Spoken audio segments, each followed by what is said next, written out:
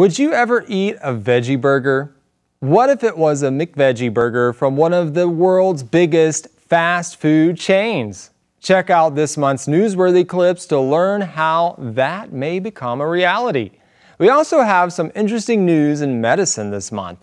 People are turning back the clock on the right age to screen kids for autism.